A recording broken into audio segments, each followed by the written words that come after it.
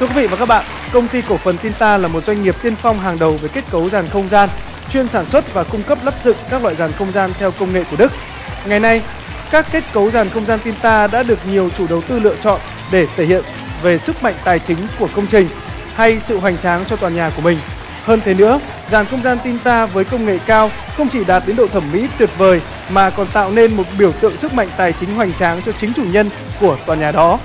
Công ty cổ phần Tinta cũng là nhà tiên phong trong chương trình hàng Việt Nam chất lượng cao và người Việt dùng hàng Việt của Bộ Công Thương. Tinta sáng tạo và phong cách. Hãy nhanh lên nhanh lên ạ. Miếng nào đấy ạ? Vâng, thời gian vẫn còn. 45 giây đã vừa trôi qua và như quý vị thấy thì rõ ràng đội sinh viên của chúng ta đã vô cùng cố gắng và nỗ lực để có thể có được 80 ghép trên tấm bảng của chúng tôi đặc biệt là những giây cuối cùng. Bạn Ngọc Huy đã rất cố gắng để có thể tìm ra được miếng ghép và đặt nó lên vị trí cuối cùng trên tấm bảng. Với sự cố gắng vừa rồi chúng ta hãy cùng kiểm tra xem là 8 miếng ghép mà các bạn đã tìm ra và tìm vị trí của chúng có chính xác hay không. Đây là đáp án của chúng tôi. Xin chúc mừng đội sinh viên, xin chúc mừng hai bạn.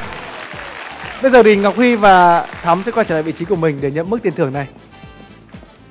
Đội sinh viên có được một logo hoàn thiện và hai bạn đang sở hữu thêm mức tiền thưởng là 1 triệu 600 ngàn đồng nâng tổng số tiền thưởng đang có trong quỹ của đội sinh viên lên con số là 3 triệu 100 ngàn đồng. Xin chúc mừng hai bạn. Hai bạn có tiếp tục tham gia vào cơ hội xác định phương án định vị hay không ạ? Vâng, tôi chưa nói xong thì hai bạn đã quyết tâm à, là sẽ tham gia bằng đèn tín hiệu. Sau đây sẽ là phương án định vị của chúng tôi. Dàn không gian Tinta đã trở thành một thương hiệu quen thuộc với các nhà đầu tư trong và ngoài nước bởi đặc điểm nổi bật nào sau đây. A. Thiết kế độc đáo với công nghệ hiện đại của Đức do đội ngũ kỹ sư chuyên nghiệp tư vấn và lắp đặt. B. Kết cấu chắc chắn, bền vững với tính mỹ thuật cao mang biểu tượng độc đáo, thể hiện được sức mạnh tài chính của chủ đầu tư. Và phương án C là cả hai phương án trên. Đội sinh viên xin lựa chọn phương án là C ạ. Các bạn lựa chọn phương án C.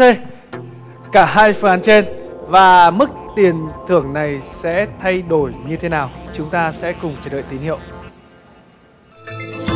Xin chúc mừng đội sinh viên. Mức tiền thưởng 3 triệu 100 ngàn đồng sẽ được nhân đôi lên và hai bạn đang sở hữu số tiền thưởng 6 triệu 200 ngàn đồng. Xin chúc mừng.